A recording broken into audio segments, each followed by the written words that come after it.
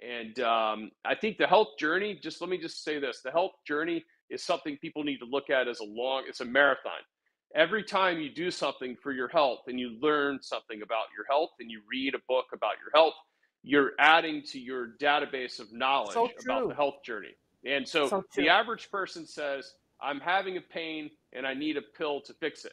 I mean, the medical system is utterly useless. You know, you pay an unbelievable amount of money for medical insurance that you can't use, and then you go to the doctor and these people they, they do nothing to help you.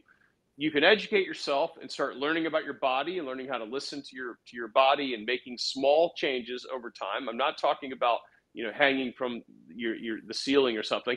I'm talking about little things you can do, changing the time you eat, changing the things that you eat, the combinations of food, and you would not believe how much better you feel as time passes. And then you start noticing that the average American is taking on the most bizarre shape.